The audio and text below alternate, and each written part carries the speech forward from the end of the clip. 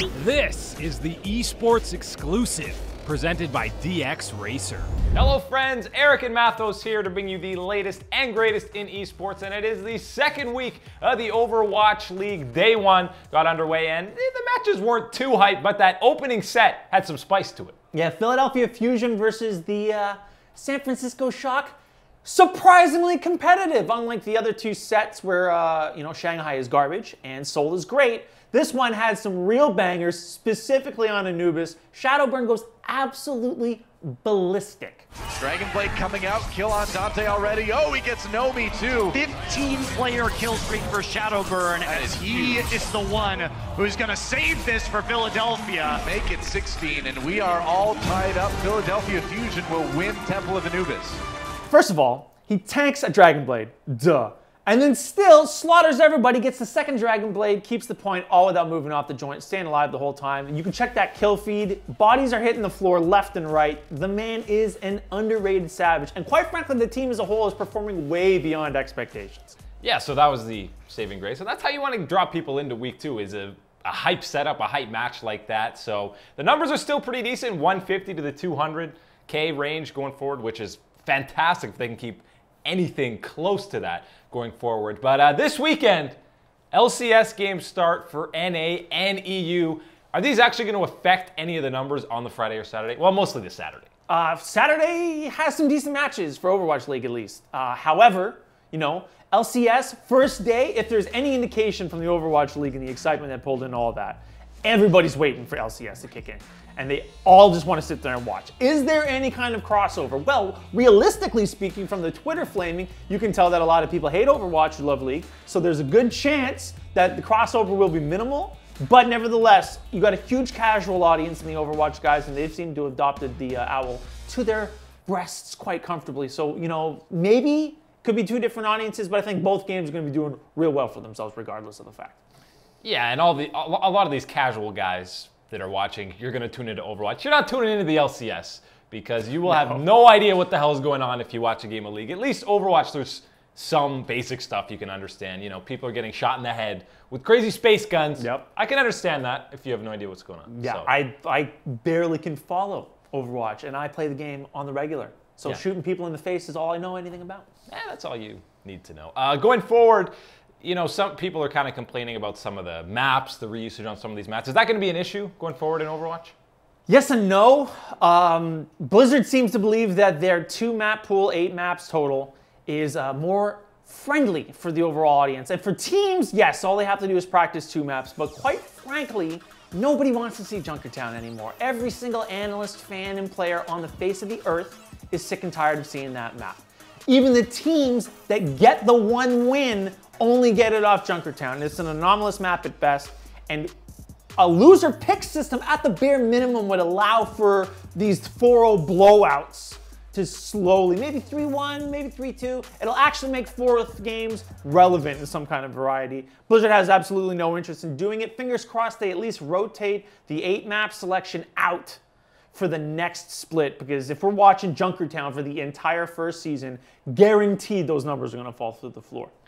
Yeah, I'm sure Blizzard will do some adapting in between all these splits and kind of they got to figure they got to change something up at some point because that's a lot of games and people will get bored. Uh, PUBG news. Oh, I know everyone's been missing out on the esport wonder that is PUBG. It's going to be being played at IEM Katowice. It's got it's there. Yeah, it's a $50,000 tournament, Ooh. folks. 16 teams. Invitations have already been sent out for the big boys, but you're one of the seven remaining teams that don't happen to have a contract. You actually can enter up for the qualifiers this weekend, January 20th and the 21st. Three spots from North America, three spots from Europe, and one from South America. You can qualify up, play through the tournaments this weekend, and it'll finish up next weekend on the 28th. And you can get yourself a spot at IEM Katowice. Should be pretty sweet, especially if you care about PUBG. They did a, a, a progressive job in the last tournament. Hopefully things turn out to be even better than last time. Yeah, each tournament's gone a lot better, and you know, there's a there's a little too much pressure on a lot of these tournaments because they're so far and few in between for PUBG. So hopefully, it goes pretty well for them. Fingers crossed. Fingers crossed. No Uh, desert map though. No desert. Only Who the hates the desert map. Yeah. But, eh, too bad.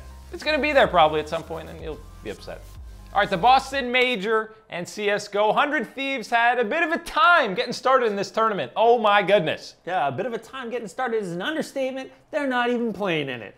Turns out that uh, the Brazilian CSGO core from the Immortals team that 100 Thieves picked up specifically for legendary status, and let's not split any hairs about that, couldn't get their visas in order and were unable to play in the tournament. So now you're stuck in a predicament where 100 Thieves has to double down on nitroglycerin and pray that it doesn't blow up in their face the next time they play without any fast track to the next round of the tournament. Uh, however, that gap creates a big problem, and they worked it out as such. Uh, Swiss best of ones, not a lot of people are big fans because there is no reseeding in these things. Cloud9 and G2 got an easy 3 0 sweep, and as a result, they have to play themselves in the next bracket. Team Liquid, on the other hand, with their coach, due to a player not being able to play for the rest of the week, uh, they grind out eight matches to get themselves in to take 100 Thieves' last spot. It was a clawing battle, playing through all sorts like QB Fire and Avangar and a bunch of other random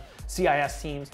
End of the day, the brackets are all set up. Everything's lined up for a January 19th pop through another Swiss best of one. Can we please get some reseeding? I'm begging you.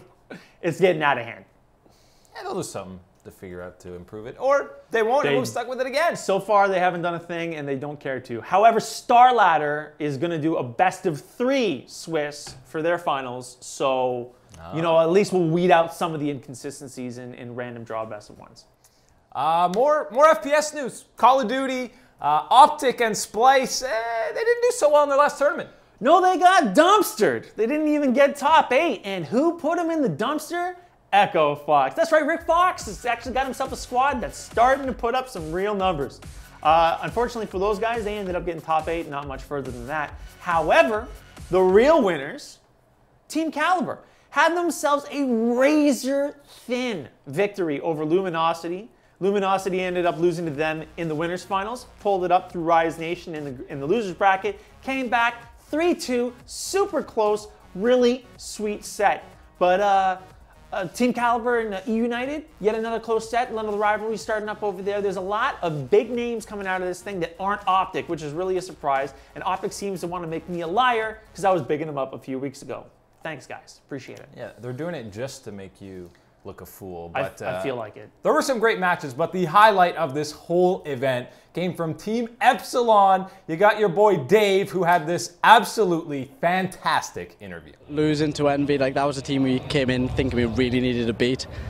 Uh, but that we got absolutely smashed by them. I don't talk about that, but Optic game was pretty close. Um, I did expect to get beat by them, to be honest with you, but I'm surprised we did so well because we're not the best at the moment.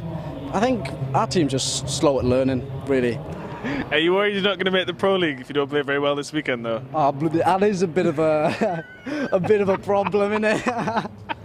yeah, but mate, yeah, you know, it's we just have to play the same as in Fuse. I don't expect to do good this event because we ain't very good. But as long as we get the pro league, I think it's good. I think it's good. Uh, is there any teams that you'd quite like to play this weekend?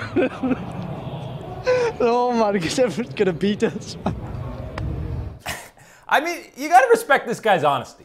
I love it. It's refreshing in an entire division where there's like maybe two personalities.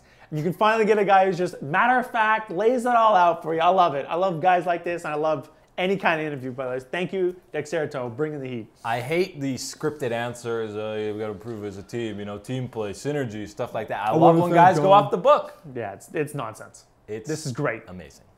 Uh, there's so many esports going on this weekend. It's I don't know how you're gonna pick what you're gonna watch. You got LCS making its debut, more Overwatch League, week two, of course. The Hearthstone World Championship. We didn't even talk about that. That gets underway this weekend. Boston Major with CS:GO. There's a lot to watch. Plenty. But uh, what else can you do other than sit in your DX racer chair, boys? You gotta sit in your out. DX Racer chair. If you're gonna be sitting and watching esports for hours on hours, you gotta have good posture. You gotta keep that spine aligned. And the best way to do that is with these DX Racer chairs. And if you go on DXRacer.com right now and use the promo code SHOTCALLERS, you're gonna get 15% off. That is something you gotta do. Because 15% off is great. Undeniable. It's my favorite number, the number 15. Uh, that's it. For the esports exclusive, Eric and Mathos here bringing you the latest and greatest in esports. Thanks for watching. We'll see you guys next week. This is the esports exclusive presented by DX Racer.